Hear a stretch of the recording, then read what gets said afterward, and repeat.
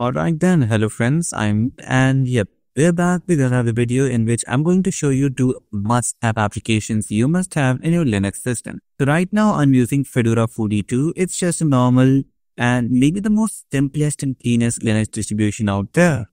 Besides such, and here the two applications you can have are from Flathub. You can easily access Flathub from there, the GNOME software application, or you can just install Bazaar. Yep, there. This is another best place to download applications from Flatpaks and Flathub. Alright then, so let's start with the most important application you must have and that is Extension Manager. Now you might think like, yes, there is indeed an Extension Manager. Let me just show you. You see there, which you normally get out of the box and you can easily download it or install it directly from, you know, terminal and other places. But then we have Extension Manager. This is a whole new deed. Well, let me just show you, shoot down. So this is the extension manager and it has one extra feature which is no must have and that is the browse feature. On normal extension manager, you can only customize and change settings of the downloaded and pre-installed extensions, but you cannot directly download extensions from that application. For this, you have the extension manager. Now here, let's say I want maybe a clock. So I just search for clock there we are. We have a lot of them. Fuzzy clock is maybe the best here, which allows us to, you know, customize the GNOME shell. Right now, I'm using Blur My Shell as my default, you know, layout. Like Blur My Shell actually is the source of this beautiful and amazing desktop. And we have a lot of settings pre-installed. Thanks to that, we have also Dash to Dock Blur as well, overview, but then we have panel. Let me just show you. There's a huge difference. And that goes for all the other extensions you must have if you have a GNOME desktop. Now, I know this was a short one and it is indeed a must have. The next application is here. This is volume control, but its real name is Pavu control. Let me just spell it out for you. P-A-V-U control. When you press enter, there it is. Volume control. In order to install it, you just have to, you know, download the zip package, go to DNF install, and it's going to install it directly from the repository. It's available on all the repositories, whether it's Arch, Fedora, or Ubuntu. What, you know, you might wonder why it is important. Well, this is indeed the control center of all the audio devices you have.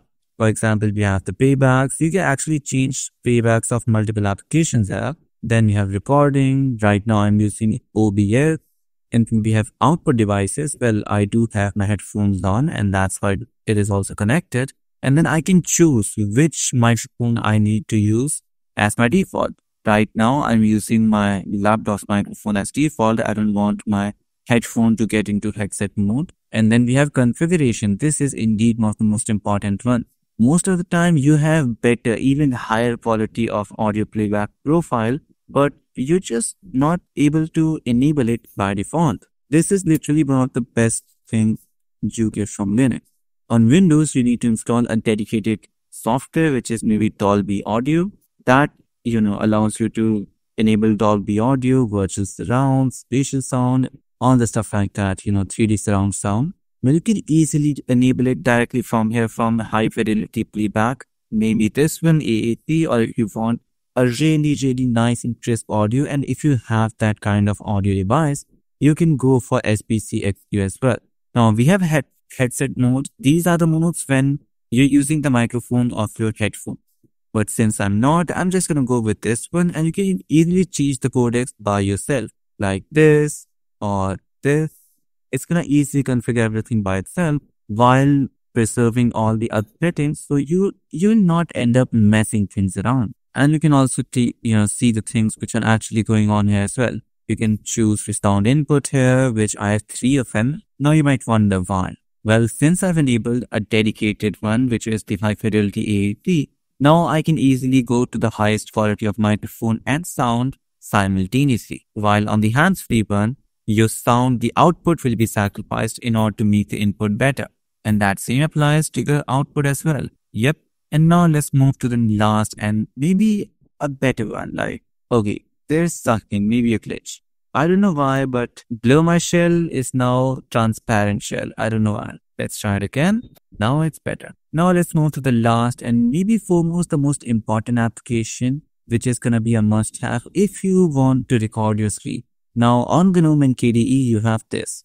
This is the GNOME Screenshot Utility tool, which you can also use it for recording screen, but the quality is really bad and the format is made mostly WebM.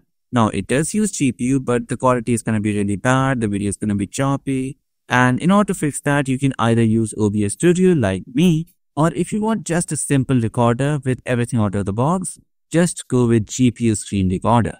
And this is actually maybe one of the best alternatives to NVIDIA's official screen recorder, NVIDIA Shadow. Now, now right now it is using my integrated GPUs. Like it's possible because right now I'm on balance mode mostly. Yep. If I was on performance mode, it would go on to NVIDIA, but it's better as well. Now you have the option to just go with a simple view through which you can add output devices, input devices, video quality, you know, for someone who doesn't know much about this. But if you do know your stuff, go with the advanced option and actually make things better. Let me just show you how. So for example, right now, I have my device input, which is going to be the default input, or I can choose which mic I need. And if you also want to record desktop audio as well, just add audio device, make it input, another one output, there we go. Now for the audio codec, I prefer Opus because it's widely available, it's open source, you can use it everywhere. But AAC is also awesome, but if you need to edit videos, go with Opus. Now, in order, in order to make the video actually crisp, set the video quality to constant bitrate and actually, you know, like it depends on the, uh, the amount of storage you have. Let's say if you can go for like 10 GBs for 10 minute video, just go with 50 pulse. This is literally awesome. Like this video quality is just top notch. Or if you have more, just go with 100 pulse. And then for the video codec, I prefer H.264 best. Or well, if you do want to go with HDR, I don't know who would want to. Or well, 10 bit is even better, so you can go with that. Now let's go with color range. Limited is better. Frame rate. Just, you know, I have a 144 Hz display. I can go with 120 FPS, but it's to be really heavy. Just stick with 60. Then frame rate model, just go with constant. And there we go. When you go to record, you will have another menu where you have the shortcut keys. Thank you. And then we can just, you know, set short cookies ourselves, the place we need to save the video and the container.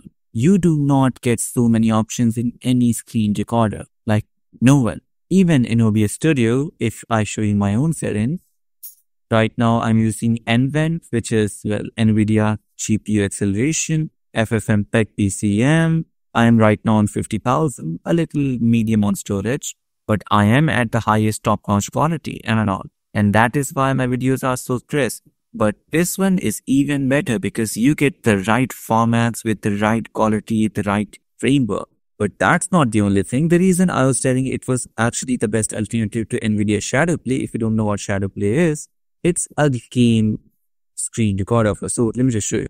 And there we go. This is it. Just like NVIDIA Shadowplay, you have the instant replay, record, and live stream as well. Yes, you can do live stream. And then you have the new UI to set up your screen recording. Nice. Yeah, let me just show it below there. Keyboard shortcuts and all the other stuff. But in order to actually customize the settings, like, you know, for the first time, you will need to get back to this old UI and set things up. After that, you can just switch to the new UI at ease and then you have all things out of the box. You can easily record or live stream or just have a screenshot like this. Yep, it is indeed a really handy application which you must have if you do have some work with this video recordings and screen recording. But still, if I need to just go with screen recordings, I always prefer this. This is actually pretty simple and good look. But when I need to actually record a video, I'm gonna go with OBS. But if I need to record a video on the go, it's gonna be the GPU recorder. And with that being said, I hope you've enjoyed the video. Let me know in the comments what you think about it. And I'll see you next video. Till then, I'm signing out.